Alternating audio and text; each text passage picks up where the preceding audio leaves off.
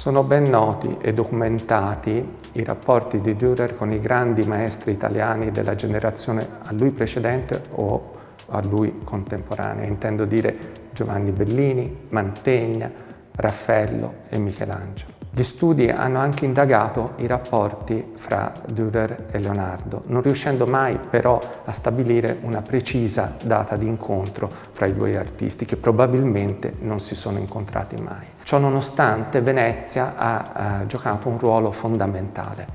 E sappiamo da fonti documentarie che Leonardo soggiornò a Venezia nei primi mesi del 1500. Cinque anni più tardi raggiunse la città di Venezia, Dürer, e vi rimase per 15 mesi, un soggiorno molto lungo e importante per la storia dell'arte europea. Molto importante anche per la eh, stessa carriera di Dürer incisore, perché in questa occasione verosimilmente copiò, ed erano le uniche incisioni di riproduzione che lui realizzò nella sua straordinaria carriera di incisore, copiò i sei nodi vinciani, cioè sei incisioni eh, realizzate da Leonardo da Vinci, fatte realizzare alla fine del 400 a Milano. Possiamo sostenere questa ipotesi per testimonianze documentarie sul Dürer incisore a Venezia e eh, testimonianze collegate alla presenza di una filigrana antica su questi fogli databile al periodo veneziano, un elemento di straordinaria importanza per gli studiosi della grafica. Il primo decennio del Cinquecento a Venezia vuol dire uno dei momenti fondamentali della storia dell'arte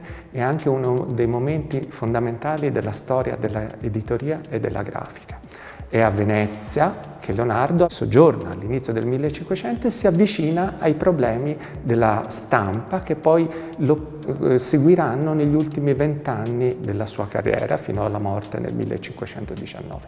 È a Venezia nel 1506 che eh, Dürer copia le incisioni di Leonardo praticando un genere ben diffuso nelle botteghe tipografiche veneziane ma che lui non praticò mai, quello dell'incisione di riproduzione. Sempre a Venezia si stampa nel 1509 il Divina Proporzione, un testo fondamentale di Luca Pacioli che contiene molti eh, disegni di poliedri geometrici, in fondo un apparato illustrativo molto ricco basato su disegni, come è noto, leonardeschi. Questo trattato era presente nelle biblioteche norimberghesi, fornì un consistente habitus teorico al Dürer teorico dell'arte nel terzo decennio del Cinquecento e soprattutto era dedicato a Galeazzo da San Severino, un nobile della corte degli Sforza che soggiornò a Norimberga fra il 1502 e il 1503 portando i disegni dei cavalli di Leonardo che furono tradotti in incisione, soprattutto nello splendido piccolo cavallo esposto in questa sala da Dürer, e rappresentano il primo momento di vicinanza fra i due artisti prima del grande incontro veneziano.